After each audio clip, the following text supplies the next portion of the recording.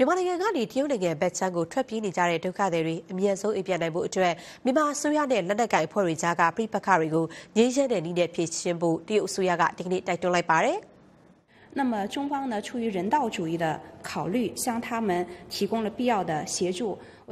လူသားချင်းစာနာစိတ်နဲ့တရုတ်ဆိုရကသူတို့ကိုလိုအပ်တဲ့အကူအညီတွေပေးခဲ့ပါတယ်။အချိန်လေးတည်ငြိမ်လာတာနဲ့သူတို့တွေမြန်မာနိုင်ငံကိုအမြန်ဆုံးပြန်နိုင်လိမ့်မယ်လို့ယူဆပါတယ်။ဒီလူတွေနေရပြန်နိုင်ဖို့အတွက်လည်းပြိပခါတင်းမာမှုတွေရောကြအောင်နေဆက်ဒေသမှာငြိမ်းချမ်းရေးနဲ့တည်ငြိမ်ရေးပြန်လည်ထားရှိနိုင်အောင်ပါဝင်ပတ်သက်နေတဲ့နှစ်ဖက်စလုံးကတရုတ်ဆိုရနဲ့အတူလက်တွဲပြီးစူးစမ်းသွားသင့်ပါတယ်လို့ ဖို့မျှော်လင့်ပါတယ်ဆိုပြီးတော့ဒီတရုတ်နိုင်ငံသားရေးဌာနပြောခွင့်ရသူဝါချွင်းကဒီကနေ့ဘေကျင်းမြို့သတင်းစာရှင်းလင်းပွဲမှာပြောဆိုသွားတာပါ။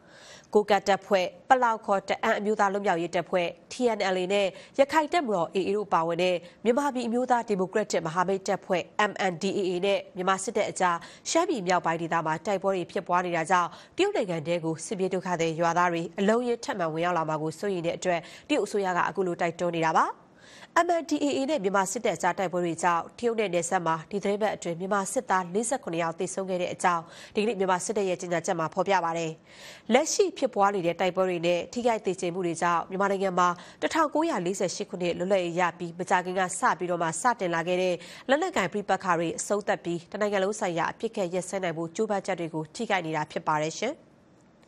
မျိုးသားကောင်းဆောင်ဗိုလ်ချုပ်အောင်ဆန်းရဲ့နှစ်တရာပြည့်မွေးနေ့အထိမ်းအမှတ်အခမ်းအနားတွေနိုင်ငံတော်ကျင်းပနေတာမှာဒီကနေ့ဗိုလ်ချုပ်အောင်ဆန်းရဲ့စာတီးမြို့နမ်းပေါက်မှာကျင်းပတဲ့လူလူစုဝေးပွဲမှာတော့ဒေါ်ဆန်းစုကြည်ကမြန်မာနိုင်ငံမှာစစ်မှန်တဲ့ဒီမိုကရေစီစနစ်တစ်ခုတည်ဆောက်နိုင်အောင်ဝိုင်းဝန်းကြိုးပမ်းကြဖို့တိုက်တွန်းပြောကြားသွားပါတယ်။ကျွန်တော်ရဲ့ပြည်သူပြည်သားများဟာဖိဖိအမွေတွေကိုဆက်ခံနေဆိုလို့ရှိရင်တကယ်စစ်မှန်တဲ့ညီညွတ်တဲ့ဒီမိုကရေစီပြည်ထောင်စုတစ်ခုထူထောင်သွားဖို့ စူးစမ်းကြပါလို့ကျွန်မအနေနဲ့တိုက်တွန်းချင်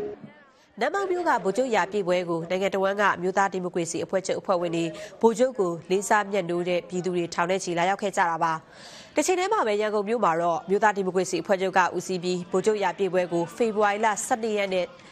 ကနေပြီးတော့14ရက်နေ့အထိပြည်သူရင်ပြင်မှာကျင်းပတယ်လို့ကလေးများနေ့ပြိုင်ပွဲတွေတန်ချက်ပြိုင်ပွဲတွေဗိုလ်ချုပ်အမတ်တရဓာတ်ပုံပကြီးပြပွဲတွေပြုလုပ်ခဲ့ပါတယ်။ ဗိုလ်ချုပ်ဆန်းရဲ့မွေးနေ့ဖြစ်တဲ့ဖေဖော်ဝါရီ23ရက်နေ့ကိုမြန်မာနိုင်ငံကလေးများနေ့အဖြစ်သတ်မှတ်ထားတာကြောင့်ဒီကနေ့ဒီမနက်9:00နာရီကနေ12:00နာရီမှာကလေးတွေပါဝင်တဲ့ကြပြရွတ်ဆိုပြိုင်ပွဲနောက်ဗိုလ်ချုပ်မိတ်ကိုအပြောပြိုင်ပွဲပကြီးပြိုင်ပွဲတွေကိုလည်းကျင်းပခဲ့ကြပါတယ်